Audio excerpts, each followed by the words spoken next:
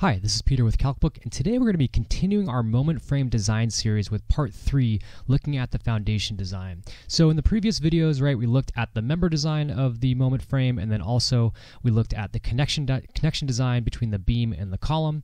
And now, for this last video, we're going to be taking a look at the foundation design. So what we'll be doing is we'll be taking the reaction forces from the model, um, and then we'll be using Calcbook um, and ACI 318-19 to design our footing. So we'll be looking at the bearing pressure, sliding and overturning, right, and that'll all be using allowable uh, stress design loads, ASD loading, and then for the um, the uh, uh, strength checks, we'll be looking at one-way shear, two-way shear, and flexure, and that will all be using LRFD loading. So if we take a look at our reactions from the model, right, this is an output from our model, um, looking at joint 1 and joint 3, which are the uh, base of each of the columns. And then we have our F1, F2, and F3.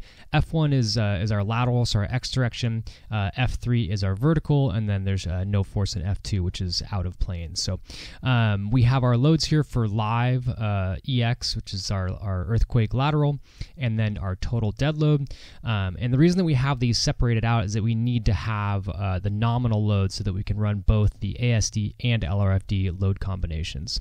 So if we sort of summarize those, right, for the worst case downward and the worst case uplift, um, these are our forces that we're going to be looking at. Pretty much they're, they're mostly the same except for our earthquake rate. We have to look at both um, the downward side, so that 12.9 kips uh, going down, and then also 12.9 kips going upwards. Um, so we'll take a look at that when we do our foundation design.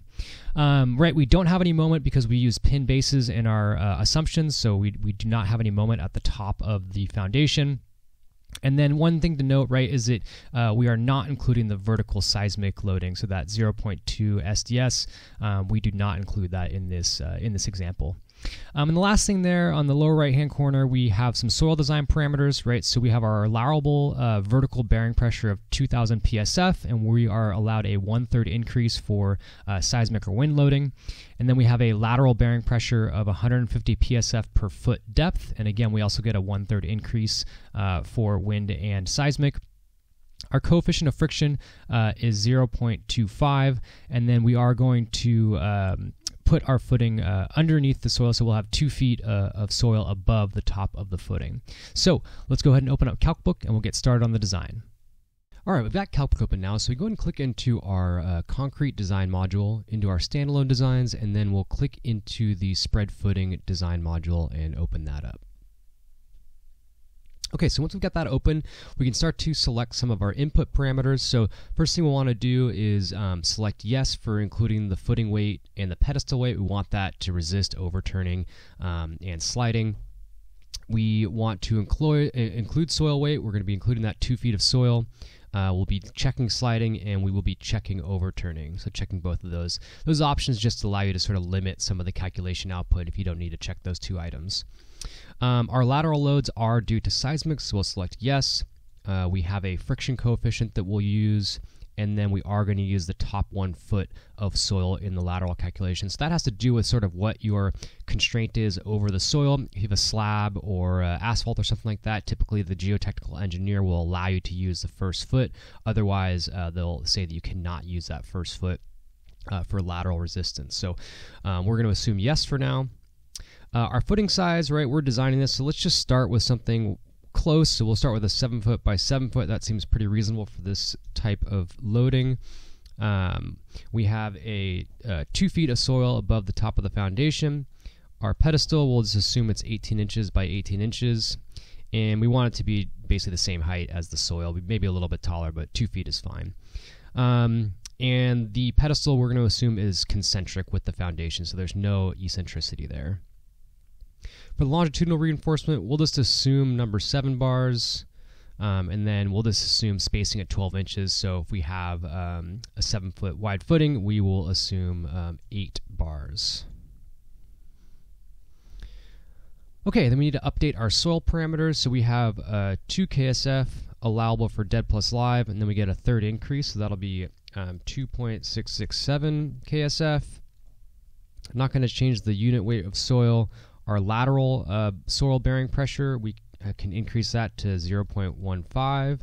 and then we also get a one third increase uh, on that for our seismic and wind, so we'll go to 0.2. And then our friction coefficient is going to be 0.25. All right, so we've got our soil parameters entered. We're going to leave our material properties as is. Uh, we'll go over to the demand side. We are going to be using the ASCE 716, right, because we are going to be um, inputting nominal loads so that we can get both the ASD load combinations and the LRFD load combinations. Uh, we don't have any moment, right, because it's a pinned base.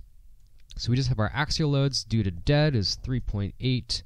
Um, our axial load due to live is 3.2 and then our axial load due to seismic is it's plus or minus 12.9 um, but we're going to assume that the minus is going to control right? The uplift is probably going to control our overturning and sliding. So we'll go ahead and enter that in as a minus. And then our shear demand um, right we have the small loads due to the kick from the vertical load. So we have uh, 0.28 dead load uh, shear demand and 0.3 live load shear demand and then our lateral force due to seismic, which is the big one, right? That's 7.5 kips. And remember that 7.5 kips is applied at the top of the pedestal, so it creates an additional overturning moment that we'll calculate. Um, so right at first glance, looks like we do have an issue with overturning. So when we get there, we will take a look and see how we can adjust our inputs to uh, to resolve that. So let's start going through our capacity side of things. Um, right, first thing we want to do is take a look at some additional loading calculations. Right, so the we decided to include the footing and the pedestal weight, so we'll go ahead and add those in plus the soil. So, so we get a total dead load of about 27 kips. Um, and then these uh, expandable menus here uh, just showcase what the critical load combination is for each check. So for our uh, dead plus live, or sorry, excuse me, for our um, ASD loading for bearing pressure for just dead plus live, right, that's just going to be D plus L. And then for our overturning, um, right, that's going to be the, the least amount of dead load. So that's why we have this 0.6 dead plus 0.7 E. So that gives us our the axial demand um, during overturning. And then also another one for bearing here, but considering seismic or wind. Um, and then we have our strength uh, critical combinations for checking flexure, one way shear, and two way shear. And we have that for each load that we've applied. So we have it for shear and moment as well. Um, so we can go through that same thing and see what the shear loads are for those same critical load combinations.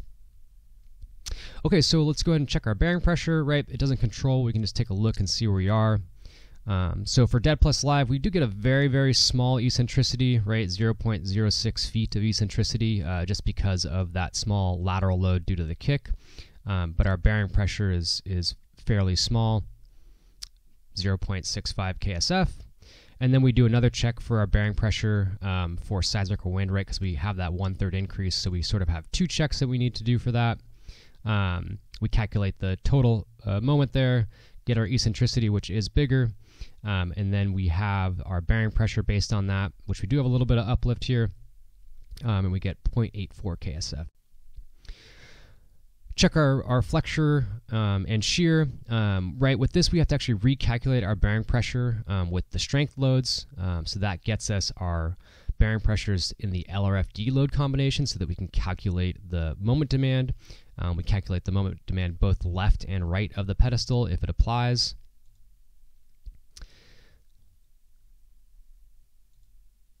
And we have our controlling demand, and then um, of 21 of 22 kip feet roughly.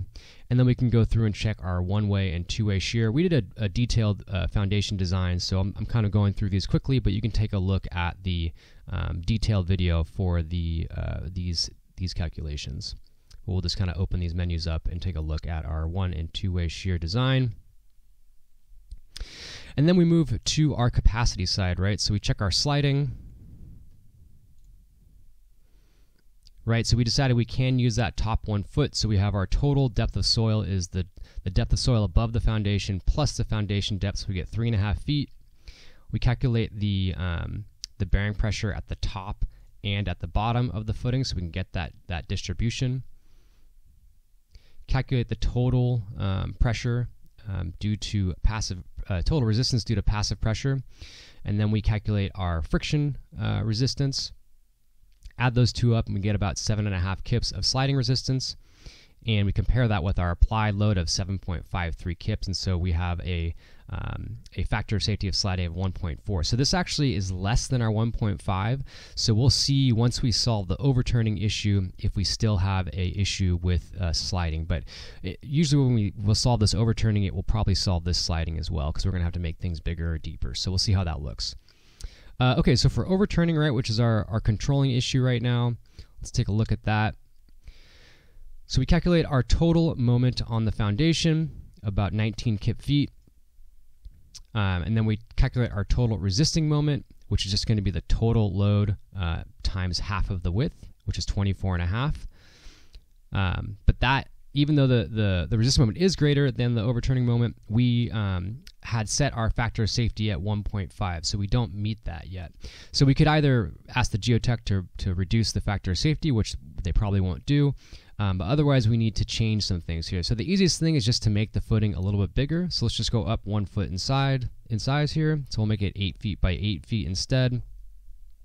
And see if that solves it. So that brings us down to 0.86. And I think if we go back to our sliding, right, that increased our sliding capacity as well to 1.73 factor of safety. So that solved both of our issues with sliding and overturning. Um, and then we can go through and check our flexural capacity. Uh, I won't go too into detail here. This is just a concrete section calculation. Uh, we've done detailed videos on this as well. We can link those below. Um, and then our one-way and two-way shear checks um, for capacity. We've also included this in detail in other videos. Um, but we go through and check all of that and check our two-way shear capacity, all the different limits here we have for that and we are good. So this foundation does work with the loading now that we've increased the size uh, to an 8 foot by 8 foot footing. This concludes our uh, Moment Design series um, in Calcbook. We really hope you guys enjoyed this. If you have any ideas for uh, new videos or new design modules in Calcbook, please let us know in the comments below, and we'll see you next time.